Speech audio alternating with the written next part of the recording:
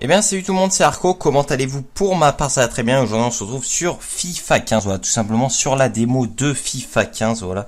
Je voulais un petit peu vous parler donc de FIFA 15, donc euh, avant de commencer le sujet, car il faut savoir que j'essaierai d'envoyer cette vidéo à la Only FIFA, euh, celui qui a gagné Rames Rodriguez donc sur ma chaîne est Most Magnétique, et donc faut savoir que si vous voulez, je vais me présenter avant d'aborder le sujet pour ne pas être pris par le temps plus tard.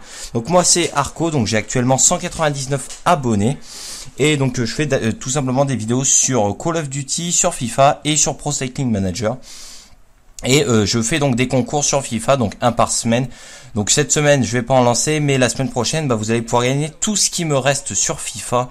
Donc je sais pas combien ça fait, mais voilà, si vous êtes intéressé et que la Only FIFA me plaude comme euh, elle m'a déjà upload deux, deux fois, bah voilà, vous avez qu'à venir sur ma chaîne et à participer sur la vidéo que vous verrez qui sortira donc euh, lundi prochain.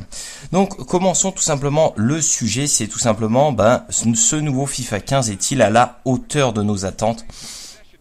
Moi j'ai été assez surpris déjà niveau graphisme c'est magnifique hein, euh, FIFA 15 donc faut savoir que je suis sur Play 3 donc sur Play 4 vous me direz sur Xbox One également sur les next gen j'avais déjà trouvé que FIFA 14 sur les next gen était magnifique. Bah là voilà, on a à peu près du niveau du next gen sur euh, ce FIFA 15 sur PS3, Xbox 360.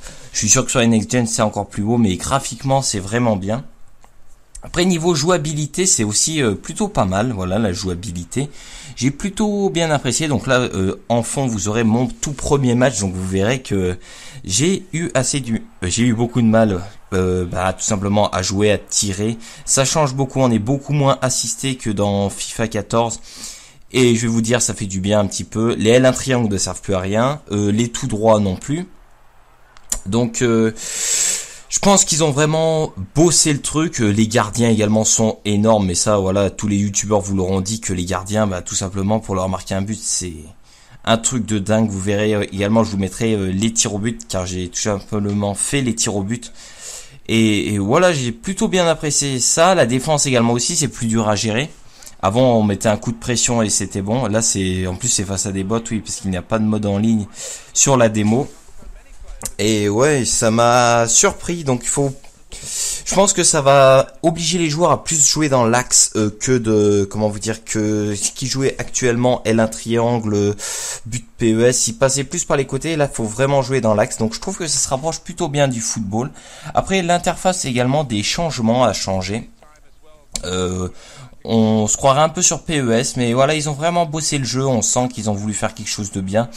Et je vais vous dire, ça fait pas de mal, voilà, parce que depuis FIFA 12, on sentait un petit peu ben, qu'il fallait refaire un petit peu quelque chose et là ils ont vraiment fait ce qu'il fallait. Après il y a encore des joueurs qui sont OP. Mais bon, vu le niveau des gardiens, euh, ça se sent plus trop en fait. En fait, sur une course, ils vont réussir à passer la défense, mais face aux gardiens, il faut vraiment faire des frappes parfaites. Donc également, c'est très très dur de jauger son tir. Donc après, je pense que c'est parce qu'on n'a pas, j'avais pas encore l'habitude du jeu et puis ah oui, après ça, ça il va tout seul. Euh, les têtes également, j'ai trouvé que les défenseurs étaient plutôt bien réactifs, même pas que sur les têtes, sur les tacles de partout. Donc la défense plutôt réactif, l'attaque où il faut vraiment construire. Je pense que ça se rapproche vraiment du foot moderne, voilà. Euh, on va moins être dans un football champagne, je pense, mais plus dans un football réaliste. Et franchement, ça fait plaisir à voir. Donc après, ça va en décevoir certains, donc qui vont passer sûrement sur PES. PES aussi ont l'air d'avoir travaillé le jeu, mais là je pense que FIFA est en train de mettre une grosse grosse claque euh, sur le marché, bah, tout simplement des jeux de foot, comme ils ont l'habitude de le faire depuis euh, euh, la PS3, voilà, depuis 2007, voilà, depuis FIFA 7, ils ont l'habitude de mettre des grosses claques à tout le monde. Et voilà, ça fait plaisir de voir que bah, tout simplement la licence d'eSport bah, revient à son meilleur niveau. Euh, sinon après les coups francs, les corners, ça aussi j'ai eu beaucoup de mal car j'ai l'habitude ben, sur FIFA 14 d'une façon de les tirer et c'est plus du tout pareil. Donc euh, ça également aussi ça va générer beaucoup moins de buts. Donc on va avoir des matchs plus fermés malgré la différence des équipes et ça va pas être plus mal d'après moi. Donc voilà, donc il y a que des je ne vois que des bons points pour le moment sur ce FIFA. Voilà, on sent vraiment qu'on a des joueurs entre les mains. Donc après, il faudra que vous me disiez euh, ce que vous pensez donc de ce FIFA. Voilà, moi j'en attendais beaucoup de choses. Euh, mes attentes ont été satisfaites. Je pense que les triangle ça va être plus dur à faire. Après, il faudra voir dans la durée. Donc euh, je remercie vraiment la Only FIFA s'il me plaude. Et je vous dis de passer sur ma chaîne, voilà, car je pense que bah, ça peut vous intéresser tout simplement. FIFA 15, voilà, euh, qui sort donc le 27.